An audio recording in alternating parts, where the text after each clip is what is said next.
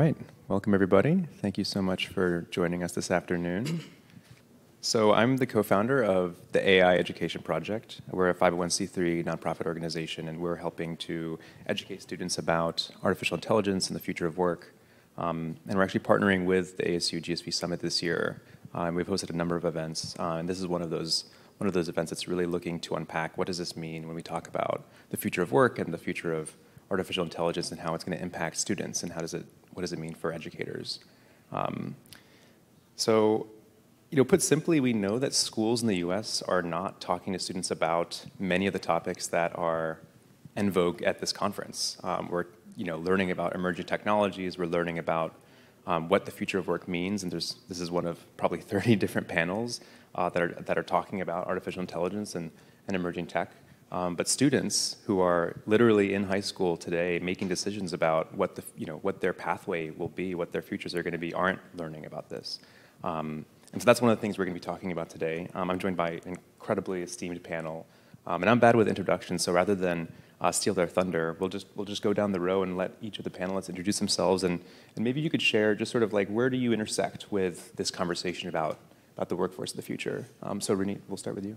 Sure. Thank you so much. Hi, everyone. My name is Ronit Avni, and I'm the founder and CEO of Localized we're a career tech platform that connects university students and recent graduates in emerging markets with industry experts to guide them and employers to hire them.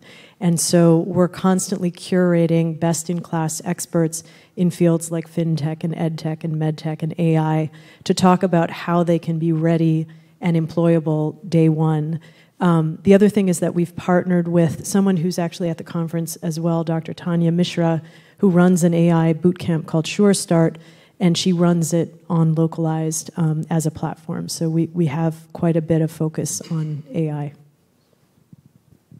Awesome. Hi, everybody. I am Babak Mostaghimi, uh, and I'm the Assistant Superintendent for Curriculum, Instructional Support, and Innovation at Gwinnett County Public Schools. Uh, so we are kind of the pre-K 12 uh, startup to this point, and we're actually trying to start these conversations with our kids um, through an AI um, education program that we're piloting for about 9,000 students um, that goes uh, sort of pre-K 12. Um, we have, just for context, 180,000 students. We're located just northeast of, of Atlanta, um, and we're really glad to be a part of this esteemed panel. Thank you. Hi, my name is Leigh Ann DeLyser. I'm the co-founder and executive director of Computer Science for All. Uh, we work at the systems change level to really help bring computer science education, including AI education, to youth all over the United States. And if I'm going to think about like where I intersect with the future of work, I'm going to be the contrarian on the panel and say it's not the future. If it was the future, we wouldn't be running workshops today for educators about how to use data science and AI to inform their formative teaching practices, right? We have to stop calling it the future and just say it is work. Um, so that's uh, my perspective and intro. Good afternoon. My name is Ken McNeely, and I'm president of AT&T for the Western region. Um, so I manage uh, our operations in the western part of, of the United States. And, um, you know, I like to describe our company now as a 140 year old startup because we continue to chase uh, the ways that uh, consumers want to connect with each other. And, uh, you know, certainly the pandemic proved or revealed uh, many inadequacies. And um, so happy to be here to talk about the future of connectivity and all the many applications that we have yet to see. Excellent. Thank you so much. Um, so, Dr. DeLyser, I'm going to start with you because I'd like you to unpack this. You know, when we talk about, we've been talking about 21st century skills for a long time. Um, we're still talking about 21st century skills, and, and, we're sort of now a quarter of the way into the 21st century. Um, what, what does that mean to you, like in, in, your work with schools and you talk to educators? Like, how do you frame that? Yeah, I got my first teaching job in 1997. So 21st century skills were like all the rage as a brand new teacher in the 90, 1990s. And we have to recognize what we defined 21st century skills to be 30 years, 40 years ago meant word processing and spreadsheets. And we're still making a call to infuse quote unquote 21st century skills. We've not renamed it. And we haven't been explicit about what we're putting in there when we talk about being ready to work in this technological, empowered, enabled, and recommended world to us.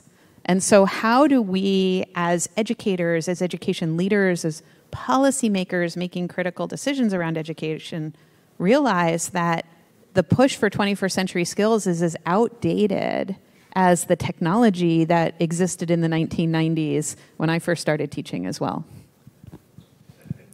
Yeah, so, so on that, the topic of that push, um, Ken, you know, AT&T has committed billions of dollars towards uh, bridging the digital literacy gap and bridging the digital divide. Um, what does AT&T see, um, you know, coming that, that is sort of prompting all of this action and investment? Sure, Alex. I mean, I would say about about a decade ago, it became very clear to us that there was um, um, first an education gap. I mean, we were actually seeing as a technology company uh, when we talk about 21st century skills that the schools were not creating graduates that were prepared to enter uh, the fields of technology adequately uh, um, adequately skilled and we knew that at that particular time we couldn't rely just on government to fund education and provide the kind of skills and the kinds of support that would be necessary to create that uh, that workforce. And we knew when we wanted to take a leadership position in, in public-private partnerships, we knew that it would take the private sector working together uh, with the public sector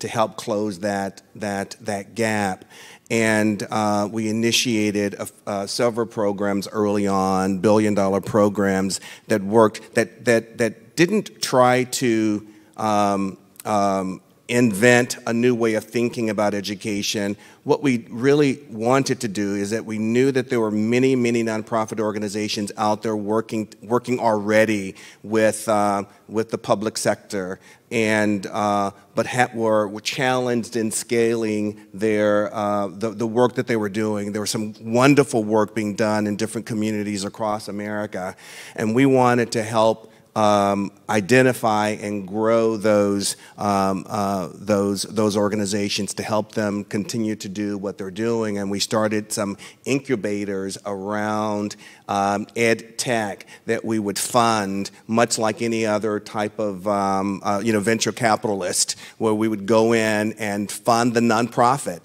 to help create and to scale at a level to be able to really make an impact in communities across the country.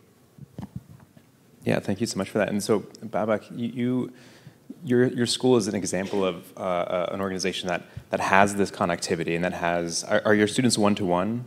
Uh, they will be soon, yeah. They'll be We're soon. very close to it this year.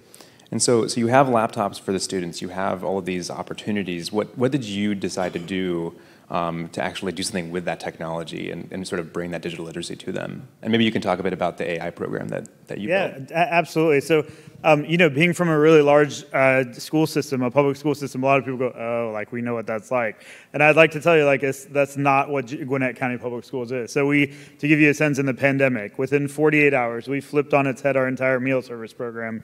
Uh, so, we were serving 260,000 meals from school buses within 48 hours of the pandemic hitting. We had 18,000 hotspots to hit kids everywhere across our school system um, within weeks of the pandemic hitting. We had uh, 65,000 computers going out to, to children um, who needed them and those sorts of things. Um, and that, I think, that same sense of urgency, that same belief that kids need to be ready for their future um, has been pervasive throughout how we do our work. And so we're a continuous quality improvement organization, which typically means nothing, right? Um, but, but in our system, we really believe it. And literally every single day we look around and say, um, are we doing enough? Are we preparing kids for their future, right?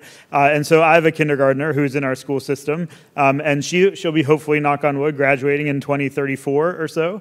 Um, and I ask myself, is our kindergarten today preparing my daughter for 2034, right? Um, and our answer at a certain point a few years back was no, we don't think so. We think we're doing a lot better than a lot of other people, but we don't think we're preparing them for the world of the future. Um, and so as we talk to our uh, partners, our business partners, and things across the country, um, we started seeing similarly. People weren't saying, hey, you guys don't do enough social studies, or you guys don't do enough reading in school. They're saying, hey, like kids aren't coming to us ready to perform, ready to innovate, creatively problem solve, and those sorts of things. And then we saw the, you know, upcoming and really here technologies around AI, and we realized the workforce of the future is now, right? We're a quarter of the way uh, into the 21st century. Like, this is like, come on, we got to do something. So, um, we have started a a K 12 um, AI uh, cluster, a theme of, of schools. Uh, we have about 9,000 kids in it right now, where we're uh, innovating and, and, piloting our first ever embedded um, artificial intelligence curriculum that we developed alongside of a whole bunch of business partners. Um, and we, we helped lead the team um, that uh, built out the first three AI courses officially in the state of Georgia for students to be able to access as well. Um, and we really believe that AI education is for all students. Uh, and so we built it not for you know people who are elites or gifted or this and that, but really because every every job out there is going to be impacted in some capacity. We really built it for everybody. And can you share a bit more about what actually the students are learning? I mean, is it are they learning to code or is it is it one level up? Sure. Well, so we started with our CS for All work, and we can't thank you enough uh, for the resources and the push and, and the, uh, those sorts of pieces. Um, but we don't believe it ends there, right? So um, that's just, for us, the computer science, the programming, coding, the data science pieces are one piece of the bigger puzzle. We really believe that, like, for your average consumer or your average developer, you're going to need a, a, lot of information around like the ethical implications of AI and algorithms that are out there. We need to make sure that our students know how to collaboratively lead together and problem solve. Um, we had a great partnership with IDEO around um, design thinking work for our students and getting them to sort of think in new ways and be able to problem solve in different ways. So when we think about sort of not 21st century skills, but current skills, we think we call them future ready skills. Um, and really it's like today's skills, but it includes the whole spectrum of skills. Alex, can I add to that? Because that, that's exactly what, you know, as we thought about the skills that were lacking in current graduates, those are exactly the skills we were talking about. And there was uh, the ability to collaborate and to think critically. Mm-hmm. Because we live in a, we live in a time now where, you know, when I was in school, it was all about the facts. I mean, you have to memorize facts. Now the facts um, are just a click away. Mm-hmm. And but it's what do you do with those facts? How do you analyze them? How do you know that they're right? I mean, how do you? And, and so it's all about critical thinking and what do you do with the facts that you have. And I'm really happy to hear that that you've really incorporated that because that's what that, those are some of the things that the technology industry was really uh, you know urging education to grab. Yeah, and I think can the facts come at you faster? Um, so I helped start a couple of schools in New York City, including the Bronx Academy for Software Engineering. And one of my favorite example lessons, uh, the history teacher partnered with the computer science teacher, and basically they were studying the French Revolution. She assigned every student in her class a, a persona from that time. So you had like the farmer, the foot soldier, the general, the the white, like all of the different people, and they had to tweet for a week from their character. And then the students worked with the computer science teacher to analyze the tweets to see what was going on and what they were learning about in their social studies class and how it impacted their, their personas. And that information came at them really fast. And then the social studies teacher, I mean, this was, you know, six years ago, was looking at the Arab Spring and what was happening in the Middle East and the way that Twitter was being used as a communication vehicle at the time. And it really connected the students to how important access to flow of information can either silo or connect, can either help you understand or separate. Um, and those lessons, right? That's exactly what you were talking about earlier today. Was those lessons, those understandings, those thinkings. That's what we want students to do, and that's what you need them to do when they turn into employees. Yeah, and Renee, your company works across the sec- different sectors, and you're really helping companies to figure out how they're resourcing and how they're up-leveling um, people and getting them ready. I mean, what are some of the things that you've learned, um, and maybe even just share a bit more about Localize and sort of the work that you're doing? Sure, absolutely. So I, I, would say there's one more piece that I would add to this that I think is a critical component, which is having what in, internally, we, we never use this externally, I would refer to as proximate role models. So people that you credibly believe, you look at them, they're ahead of you, working in these fields of the future, that you believe you can become. It's this idea of if that person can do it, maybe I can too. And it's got to be somebody close enough that it's realistic. So, one of the things, when we started Localized, we actually started speaking about the Middle East. We started in the Middle East and North Africa. We started with universities where there weren't robust um, career employer and alumni services infrastructure. And what we did is we brought experts who shared roots with the students working in these fields of the future at the vanguard. So, if we're talking about, let's say, careers in supply chain, we would have the person responsible for all supply chains for Apple talking about how robotics and automation and AI are impacting careers in supply chain management, but he's Tunisian. And so we would bring in these individuals to say, this is what industry needs. This is how we recommend. This is a day in the life of my job. This is how we got here. To give that insight, the kind of um, uh, you know, elite schools have these elite alumni networks that essentially do this all the time. It's about social capital, right? And so democratizing the social capital was the thing that we started to do. And, and as we expanded, we operated first in Jordan and then across the Middle East, now sub Saharan Africa, now we're expanding into LATAM. But we're bringing in these experts in AI, in cryptocurrencies. And, and we were talking the other day some of our industry experts, the industries are changing so rapidly that they're getting their news from Twitter. So, going back to what you were saying, especially in crypto as an example. So, you know, often by the time some of these topics are taught in class, they're already out of date. And not because there aren't incredible educators and universities that are open minded, but because it's just the, the exponential rate of change is just so dramatic. And so um, I know Reid Hoffman had said, learn from people, not classes. And I, I really believe that that combination of getting the fundamentals in some sort of structured learning environment, coupled with those role models that can push you, and then the opportunities so that you're hearing from industry. So we're obsessed with bringing the absolute top experts in these fields of the future, but have, who have global roots. They're, they're Nigerian, they're Turkish, they're, you know, you name it. Um, and, and what we found is that even though we started in the Middle East and North Africa, universities like Columbia were signing up because our experts were so both diverse and excellent and represented um, access to conversations that they didn't have previously. So that, that's where we're operating at. I love what I'm hearing. Also, as a parent, I love what I, am hearing. Um, you know, and I think that we're now moving into an era where we all have to get used to the idea that we're going to face perpetual professional anxiety because we're all going to be out of date. Our skills are all going to be out of date. We're all going to need to upskill every, you know, six months or three years or, or whatever that moving target is. And so, learning to kind of embrace that anxiety and fear of obsolescence by making sure that there are people a few steps ahead of us that we can learn from and interact with. Can I jump in on that? That really resonates with me. And, you know, um, as a public school system, we are extremely diverse, right? We have a, like like the the school where we're piloting our AI work is approximately 25% African American, 25% Latino, 25% uh, Caucasian, um, and then I guess everybody else like me uh, who we don't know which where, where we fit in. But um, but we what I appreciate about that though is that we really have this belief that we have to prepare everybody for this future that's coming. Right? I think too often in the past, you know, things happen to us uh, or things happen to the world, and we don't think and plan strategically to make sure everyone is a part of that future. Um, and so, so what you're saying about role models and mentors that, that, you can see yourself in really resonates with me. And uh, you know, one one saying we have in our system is that um, you know we want every child to be able to swim in the world of AI, in the world of the future, right? Meaning, like today, you can't go like I don't like email, like I don't do that, like that's not a thing, right? You can't be like I don't like computers. You know, 30 years ago, you might have been able to get away with that, right?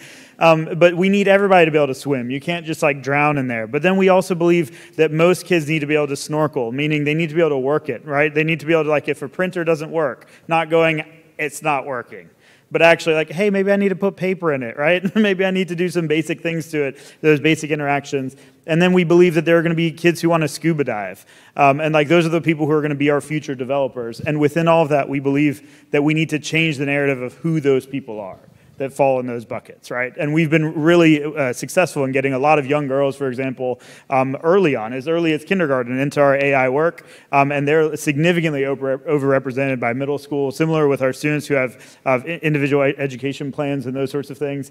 Um, and it's yeah, I think we need to build a more inclusive and, and just future together. Yeah, so, so Dr. DeLyser, we, we've been at the project of advancing computer science in schools for decades now. And you know, I think you know, on the one hand, I think amazing progress has been made, but you know, my mom teaches, she's a principal in Akron Public Schools, and it's about 10,000 students, and um, there's one computer science teacher for the entire district. Um, and so, you know, I think for Akron Public Schools, when they hear technology, their, their first inclination is, well, we don't have the capacity to teach technology to students because we just don't have the resources internally. And so, you know, Babak, when you talk about, you know, actually incorporating other approaches to connecting technology with other uh, other coursework and and uh, Dr. DeLyser, your example that you gave right there, which is actually like sort of connecting with the, with history and the humanities. Um, you know, it sounds like an interesting approach, but I'm curious, like, what have we learned from the, the work in computer science equity uh, that could apply as we try to think about all of these other emerging technologies that go beyond just coding? Yeah, absolutely. And there's a reason why. So, Computer Science for All is a fairly new organization. Um, we started with a small National Science Foundation gift in 2016 to an organization called CSNYC, which we are still the same 501c3, but we've rebranded because we do national work. Um, and our, our specific strategy right now is to raise awareness of the need for computer science education and to build capacity in our local leaders and institutions in order to implement high quality computer science education. There's been this one deficit narrative across the United States. There are no teachers, there are no internet, there's no computers, there's no desire, there's no capacity. And we have to stop saying no. Our school systems have a ton of strength. They have amazing leaders and amazing educators, and we have to stop thinking about teachers as the cog in someone else's workforce. They are not there only to build the workforce of someone else in the future. They are a workforce unto themselves. And so how do we treat them as such and respect them as such as professionals and provide them the same professional learning that you provide your AT&T employees, I'm sure, on a regular basis to keep their skills current, right? And how do we recognize that they have skills that will forever remain at the forefront? They're creative problem solvers, their empathy for children, their ability to look at someone in front of them and build what that human needs to move to their next level. Those skills will forever remain relevant and important. So, what are the minor things that we need to bring to them to upskill them as we're upskilling the rest of our country to live in this technological age? I think is really, really, really important and something we have to recognize. We keep talking about this without talking about our teachers as a workforce that needs collective building and action, and we are going to end up in a deficit narrative of them, which unfortunately leads to even more of the well, not me, not not my classroom, because you're just telling me I'm not good enough, so I'm going to believe you in this moment when I'm overwhelmed. Can I may I just add two data points? Sometimes also there's a perspective shift that is helpful. So for us, um, you know, when we talk about equity in this space, you know, and, I, and thinking about, let's say, gender equity, it's been interesting for us operating in the Middle East where certain countries, 57% of STEM graduates are women, right? And so sometimes you just, you just need to step out of your immediate context where there are a lot of assumptions to say, actually, it, this need not be in this way. And so um, you know, on our team, for example, we have a product manager from Enugu. He's in Enugu, Nigeria. He taught himself to code on a whiteboard. He didn't have a computer. He taught himself to code on a whiteboard. He's fantastic. And then he was able to Google and keep up, you know, online with all of the latest trends. Like, you don't need the state of the art. Obviously, it's wonderful if you have it, but um, there's not one way to do this, and, and a lot of the AI and a lot of the coding training is actually offline, especially in the early years. It's about logic. It's about it's about you know there, it, it's it's um, it's a way of thinking. It's not necessarily being attached to a particular device. Uh, and I think for teachers, that can be a freeing realization that there are all kinds of ways to teach the skills of the future without having to necessarily have the, the most fancy infrastructure. Yeah, and I love that notion of paradigm shift because I think for the CS education movement, if you're asked what we've learned about equity, is that we suck at it. We've been working on gender equity, we've been working on equity with race, we've been working on equity with socioeconomic status, and a decade into this work, right? Over a decade into, multiple decades into this work, we are still barely moving the needle by minimal percentage points um, when it comes to our ability to not just include in the entry level classrooms, but to inspire into the life changing careers, the economic changing careers for communities and families. And so we have to say to ourselves, like, we suck at this. And so at CS for All, we're starting a new call to the community to stop looking at equity from the walls in. Our model of equity is constantly look at all the seats. What is the number and the color and the shape of the butts who are sitting in our seats? And we're constantly perceiving the learning spaces one room at a time. But youth don't learn in one room at a time. They, we need our public schools because we need 100% of students and that's where they live. But we need our communities. We need those near peer mentors. We need them to be surrounded by the opportunity to go deep and learn things that are beyond those initial points of view. And we need our community partners because their inspiration, their resilience within that community, their ability to activate parents and neighbors to really inspire surrounds each one of those individual youth. And so we have to look at it as the array of what's around a child, not the number of children who are sitting in a learning space when we consider equity. I really like that, Dr. Leiser. We, we um, one of the common threads that we've all been talking about has been sort of the stigmatization of technology as this this sort of other thing that some people are good at, that some people get to do or aspire to, and if you get there, you're going to be successful. Um, but there's a lot of people who also feel like I'm not a technologist. That technology is is beyond me or out of reach. Um, there's still, I think, even societally, we think about nerds and like that. The, the sort of the nerd stigma still hasn't gone away. Like we're working hard at that, but it still exists. Um, and one of the things that that you mentioned is sort of you know, even at the community level, like th- thinking about how communities perceive themselves. And um, so, Ken, you know, one of the things I'd like to ask you is, you know, I'm from Ohio, and I know that, you know, when I was growing up, I assumed that if I wanted to work in technology, I had to move to basically the Bay Area, San Francisco, maybe Boston. Um, and that's obviously changed. I think people across the country, not just because of the pandemic, but especially after the pandemic, there was this realization that work is actually distributed. You don't have to be in a specific geography. Um, and so I think about, you know, when we talk about equity, we often talk about race, we often talk about socioeconomic status. Um, less often do we, do we, talk about geography and you know these rural communities that are in Ohio is especially the case. They're the least likely to have access to those technology programs. And um, how has how have you seen sort of over the last two years even like has that have you seen that dynamic changing or is this still a talking point that we're trying to get to but not quite there yet? Well, I mean, I, I I mean, I wish it were um, a solution solved, um, but but I do think I, I do think the pandemic uh, ripped the band-aid off and and revealed many uh, many of the um, uh, inequities that we, we knew to exist, but not as not as significant because you know we thought of technology as something that was nice to have. Uh, uh, and not as something that was absolutely critical. And I think the pandemic really showed technology is not in, just for entertainment. It is now for work and education.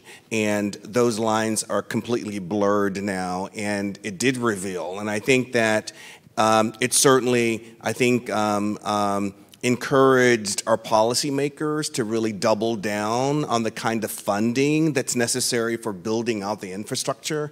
One of the things that we were um, um, um, supportive of and urged uh, the administration the, in the White House was that the American Rescue Plan really needed to have broadband infrastructure dollars attached to it because as as altruistic as corporations can be, they're still, you know, you still have to make money. It's a business. And so there are communities, there are rural communities, there are uh, um, sparsely populated communities that simply um, businesses cannot make the numbers work going there, but are willing to if there's some assistance uh, uh, from the public sector, from government. And I think that what we're seeing now with the American Rescue Plan is the opportunity for, for uh, connectivity companies to enter into public-private partnerships with local municipalities, with, um, with uh, even school systems, uh, to build out infrastructure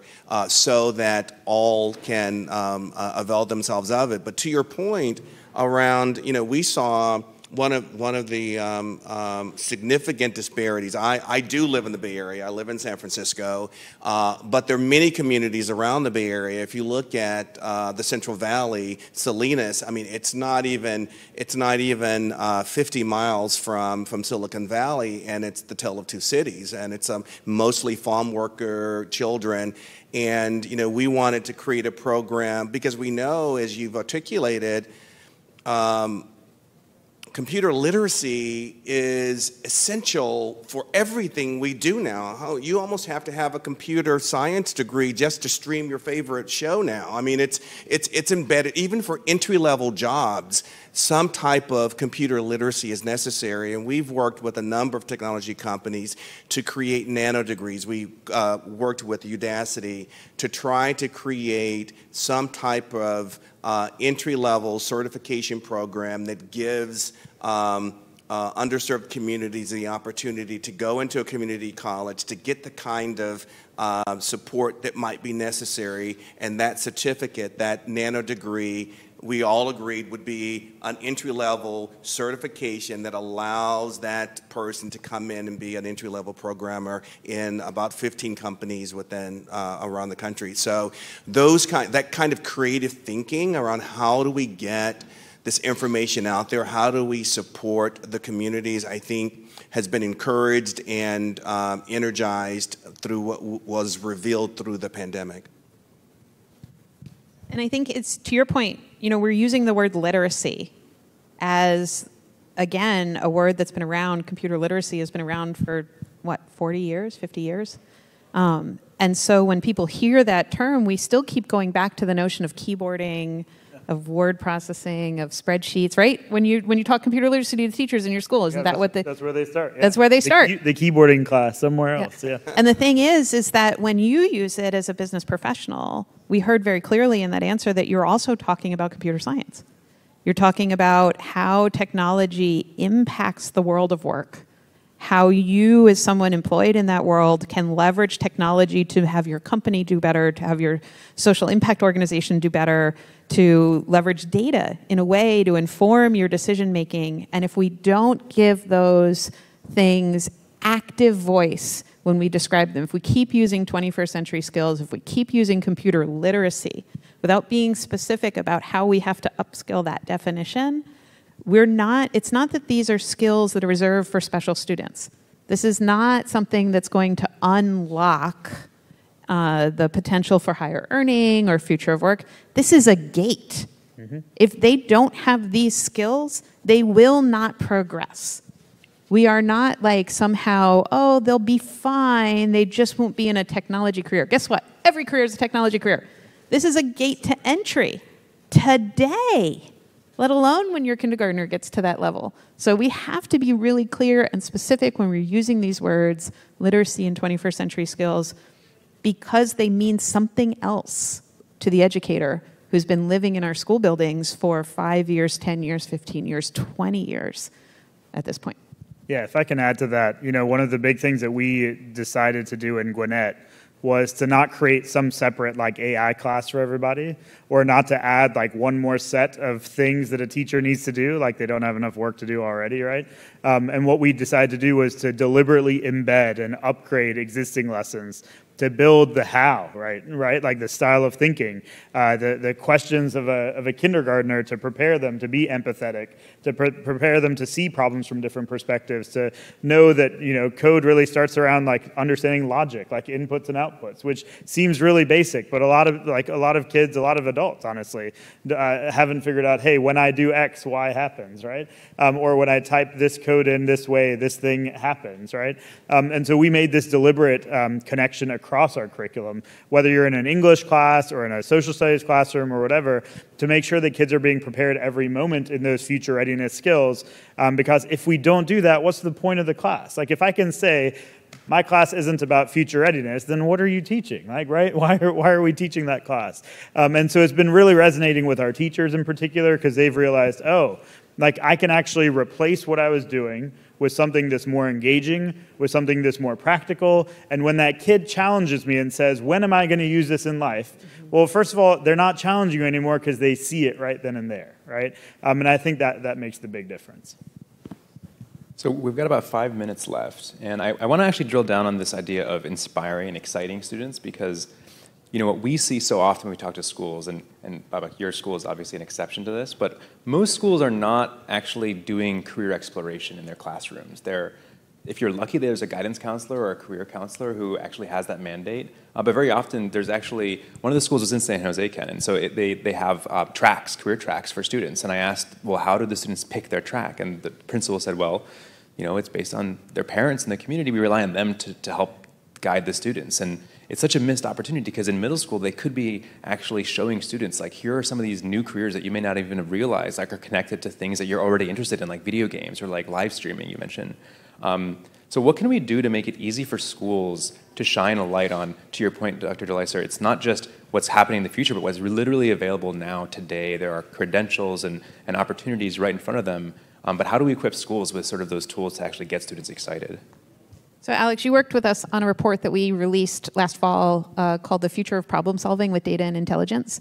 And we pulled together really a bunch of leaders in the space and looked from kindergarten to graduate school how do we get more AI and data science education infused into every step of the educational process? And one of our recommendations is actually really simple. All, do you guys all remember like the personality test you took in sixth grade where you said, I like fish, so you should be a marine biologist? Except there is a million careers now where you can do something about fish that isn't just marine biologists. That personality test still exists today. We need to fix that and it runs off of something from the US Department of Labor that they actually updated last year. There's still only five technology careers at the bottom of that decision tree. We have to separate the problems we want to solve as a nation from the skills that individuals will employ to solve those problems.